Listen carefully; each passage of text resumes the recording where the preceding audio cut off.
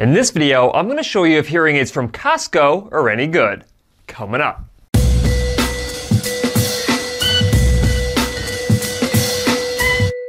Hi guys, Cliff Olson, Doctor of Audiology and founder of Applied Hearing Solutions in Anthem, Arizona. And on this channel, I cover a bunch of hearing related information to help make you a better informed consumer. So if you're into that, make sure you hit that subscribe button. And don't forget to click the bell to receive a notification every time I post a new video. Everyone always asks me if Costco hearing aids are any good, and my response to them is always the same. It really depends on if the hearing care provider who works at that Costco programs those hearing aids correctly and if they follow best practices. You see, it doesn't matter how good your hearing aids are if those hearing aids haven't been programmed correctly to your hearing loss prescription. And one of the main ways that you program a hearing aid correctly is to use real ear measurement. Now, the fortunate thing is, is that Costco actually mandates that their hearing care providers use real ear measurement. But making sure that they use it and making sure that they use it well are two completely different things. Now, every week I get patients who come into my clinic who got their hearing aids at Costco, and so I'm going to show you a good, a bad, and an ugly fitting by a Costco hearing care provider. When I'm evaluating to see how well hearing devices are programmed, I do two main things. The first one is, is I have a patient fill out a subjective questionnaire to see how much perceived benefit they're getting from their hearing aids. If someone has hearing aids already, I have them complete the International Outcome Inventory for Hearing Aids, which is also known as the IOI-HA. When evaluating hearing aid performance with the IOI-HA, I like to give each column a point value. Since the scores on the right hand side indicate significant benefit with hearing aids, I give boxes in that column a value of 5. The scores on the left hand side indicate almost no benefit with hearing aids, and I give boxes on that side a score of 1. The higher the total overall score, the more benefit a patient is receiving from their hearing aids. The lowest score is a 7, and the highest score possible is a 35. Second, I perform real ear measurement to objectively measure whether or not these patients' hearing aids have been programmed correctly to their hearing loss prescription. What this will show me is whether or not they're getting the right amount of amplification at each frequency for their particular type of hearing loss. Now, if you'd like to learn more about these outcome measures, I will have videos linked in the description. So using these two forms of evaluation, let's go ahead and check out the first patient. For simplicity, we will only be focusing on one hearing aid per patient. For this patient, their audiogram indicates a normal, sloping to moderately severe high frequency sensory neural hearing loss. As we calculate the score for their perceived hearing ability using the IOI-HA with their Costco hearing aids programmed by a Costco hearing care provider, we can see that they scored their performance favorably. Overall, they ranked their performance as a 30 out of 35. When we look at how the hearing aids were programmed using real ear measurement, we are looking to see if their hearing aid amplification matches the prescription for their hearing loss.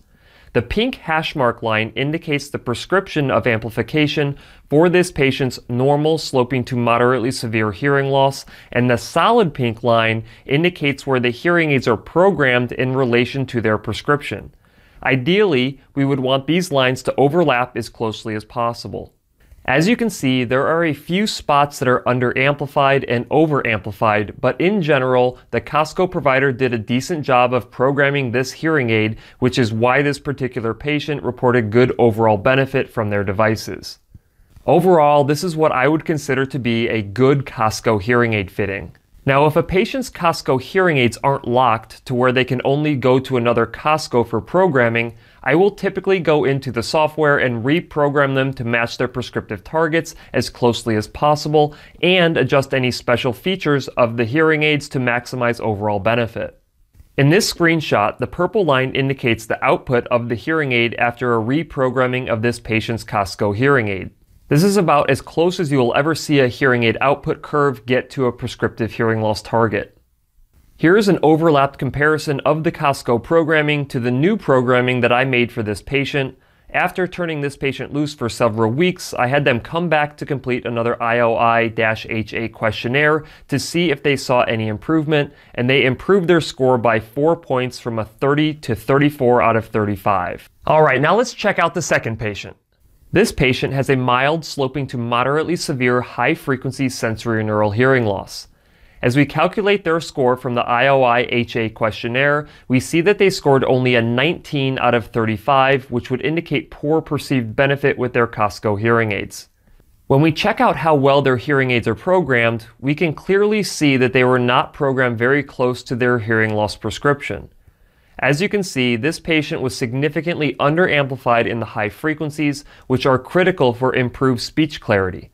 A score of 19 on the IOI-HA is not surprising considering the programming of this hearing aid. Overall, I would classify this as a bad Costco hearing aid fitting. Fortunately, this patient's Costco hearing aids were not locked and I was able to adjust the programming. I wasn't able to match the prescriptive target beyond 3000 Hz with this Costco device, but as you can see, compared to the Costco programming, we are much closer to the rest of this patient's hearing loss prescription.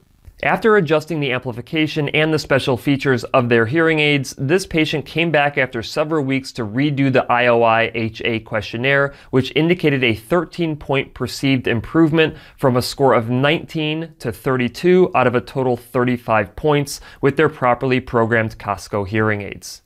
And last but not least, let's go ahead and check out the third patient's Costco fitting. This patient has a flat, moderate conductive hearing loss. A conductive hearing loss can be identified by seeing a gap between the brackets, which indicate the hearing sensitivity of the hearing organ, the cochlea itself, and the X's, which indicate the hearing sensitivity when sound has to pass from the outer ear through the middle ear all the way into the inner ear.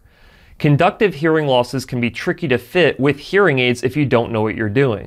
According to the IOI-HA for this patient, they scored their perceived performance with their Costco hearing aids as a 9 out of 35. Let me repeat that in case you missed it. They scored only a 9 out of 35. It doesn't take us long to realize why they scored their performance so poorly when we look at the real ear measurement of their programming.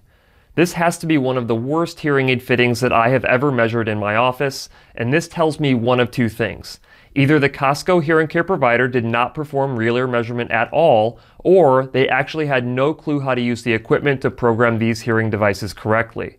Either way, as a result, this patient went over a year wondering why they were not perceiving any benefit with their hearing aids. This is what I call a ugly Costco hearing aid fitting. To add insult to injury, this patient had purchased locked Costco hearing aids that don't allow me to make adjustments on them, even though the devices were probably capable of being programmed correctly. Fortunately, this patient somehow trusted me to fit them with a new set of devices that I was able to program to their hearing loss prescription, which you can see here. Here is a comparison between their Costco hearing aid programming with their Costco hearing aid and their new hearing aid programming with a new hearing aid. Other than the little dip at 4000 Hz, I was able to match the prescription out to about 7000 Hz. After several weeks of this patient using their new, properly programmed hearing aids, they came back to complete the IOI-HA and scored their performance with their hearing aids a perfect 35 out of 35. All right, guys, so there's the answer to your question on if Costco hearing aids are any good. As you can see, each one of these patients had hearing aids from Costco that were actually capable of treating their hearing loss and treating it well. It just came down to if those hearing devices were programmed correctly for those individual patients. Now, I'm not saying that Costco hearing care providers are inherently not good at programming hearing devices. I'm saying that in the hearing care industry in general, it just really depends on if the hearing care provider that you work with with is capable of treating your hearing loss correctly with whatever devices they recommend for you. So if you end up finding yourself with a hearing care provider that is not getting you benefit with your hearing aids, you need to make sure you find one that does. That's it for this video. If you have any questions, leave them in the comment section below. If you like the video, please share it. And if you want to see other videos just like this one, go ahead and hit that subscribe button. I'll see you next time.